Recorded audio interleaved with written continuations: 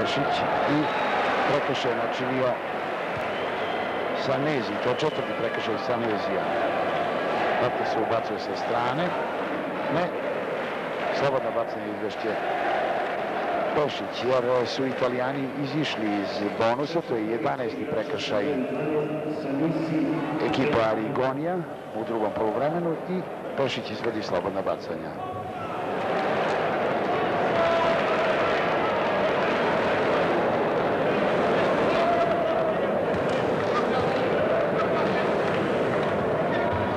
Pogodak Pešića, njegov 18. pogodak, 94-86. 8 pojena prednosti za ekipu Partizana. Brunamonti, Sanezi, Sojourner, Mili, pogodak Milija. 30. pogodak Milija. 94-88, 6 pojena prednosti za ekipu Partizana, a 3 minuta i 50 sekundi do kraja susreta Todorić. Sada naravno svaki promašaj može da bude Koban, Pešić, Kićanović, Sanezi. Još jednom Kićanović, 35. pogodak, 96-88, 8 pojena prednosti. Sada se već lakše diše, 3 minuta i 22 sekunde do kraja susreta. Bruna Monti, Zampolini i tamo Marić lovi loptu. Todorić. Mićanović. Mali prodah. Todorić. Sanezi. Todorić sam. Petrović. Pogodak.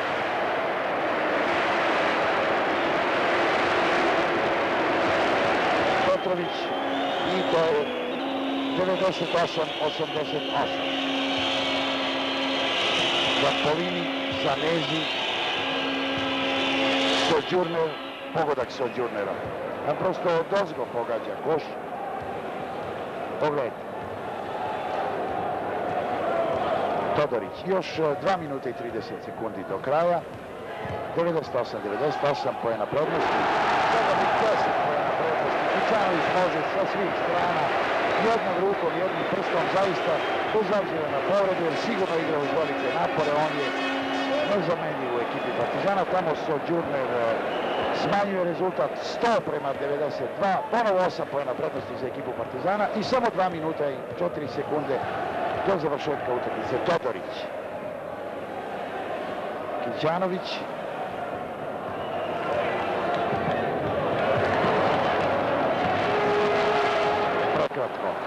Marić.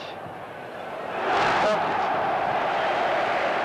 To je 21. pogodak Marića. Pogledajte još jednom. Uzdigo se visoko, čak više i od Sođurnjeva i Milija.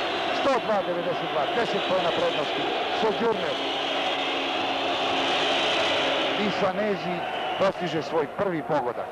102-94, minut i 27 sekundi do završetka susreta. Sada već naravno treba preporučiti mirniju igru. Marić, Petrović, bio blokiran, ali tu je Marić da to ispravi. Marić je pokupio tu loptu ispred Milija. 104-94, ponovo 10 pojena prednosti, još minut i 3 sekunde, vidite da je usporedni snimak, a na drugoj strani napad, udarac, sada Bruna Monti, Pešić i prekršaj Pešića. Čini mi se da je on išao prema lopti, ali možda je, možda bismo mogli da vidimo na usporenom snimku, e, zakačio ruku Bruna Montija. Bruna Monti izvodi slobodno bacanje, 57 sekundi pre kraja, 10 pojena prednosti za ekipu Partizana, čak i u košarci, malo je verovatno da bi to moglo da se izgubi. Bruna Monti 11. pogodak, jedan pogled na tribinu dvorane Pionir, e, koja će tek uzavreti kada sada igrači Partizana krenu ovaj možda pretposlednji napad i Sođurner je uzeo loptu. Pogodak Sođurnera 104-98 neopreznost Kićanovića, sada Marić Todorić još 37 sekundi do kraja Kićanović 104-98, 6 pojena prednosti. Samo mirno, bez prekršaja i ovako.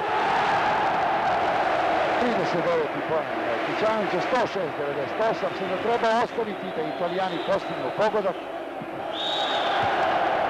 Lopta za igrače Partizana, 106-98, 20 sekundi do kraja. Sada se već može govoriti o pobedi. Todorić ima loptu, on traži Kićanovića, koga sada u ovim trenucima čuva Marizi koji je ušao. Lopta za igrače Partizana ponovo, još samo 8 sekundi deli ekipu Partizana od zvaničnog triumfa u ovogodišnjem takmičenju za kup Radiva Koraća i tačno kako i treba. Igrač koji je odlučio ovu utakmicu, fenomenalni Kićanović, postiže u posljednjoj sekundi posljednji pogodak 108 prema 98. To je rezultat finalne utakmice između Partizana i Arigonija. Pogledajte taj posljednji trenutak Kićanović dobija loptu pored Petrovića. Iako Zampolini polazi prema njemu, Kićanović iz ove teške pozicije jer se približavaju visoki italijanski igrači. Vidite, Zampolini pokušava da ga blokira, postiže svoj 41.